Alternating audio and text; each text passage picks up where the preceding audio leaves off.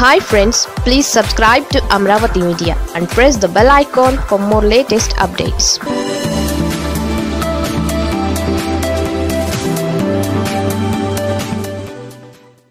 ముందు నుయ్యి వెనుక గొయ్యి. రామోజీరావు విపత్కర పరిస్థితి.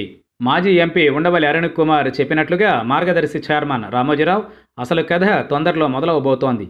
మార్గదర్శి కంపెనీ ద్వారా సేకరించిన డిపాజిట్లు తిరిగి చెల్లింపుల వివరాలను జూన్ పదవ తేదీలోగా ప్రకటించాల్సిందే అని అత్యున్నత న్యాయస్థానం సుప్రీంకోర్టు రామోజీని ఆదేశించింది. నిజానికి తాజా ఆదేశాలు రామోజీకి పెద్ద దెబ్బనే చెప్పాలి. దాదాపు పదిహేడేళ్ళుగా డిపాజిట్ల వివరాలు తిరిగి చెల్లించిన వివరాలను బహిర్గతం చేయకుండా రామోజీ సీక్రెట్గా ఉంచేశారు.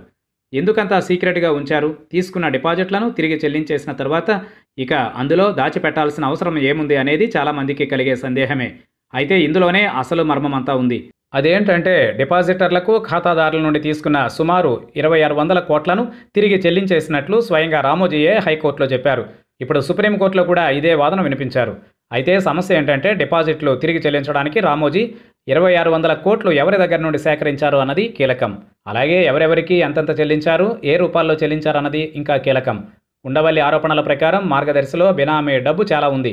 డిపాజిట్దారులు చెల్లింపుల వివరాలు బయటకు వస్తే మొత్తం బండారం అంతా బయటపడుతుంది. అందుకనే డిపాజిట్దారులు చెల్లింపుల వివరాలను బయటపెట్టడానికి రామోజీ ఇష్టపడడం లేదు.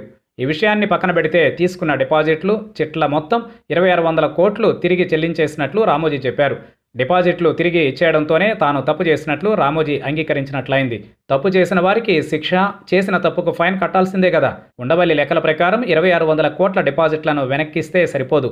సేకరించిన డిపాజిట్లు ఇరవై ఆరు వందల కోట్లకు మూడు రెట్లు ఫైన్ కట్టాలట. అంటే ఏడు వేల ఎనిమిది వందల కోట్లు రామోజీ ఫైన్ కట్టాలి.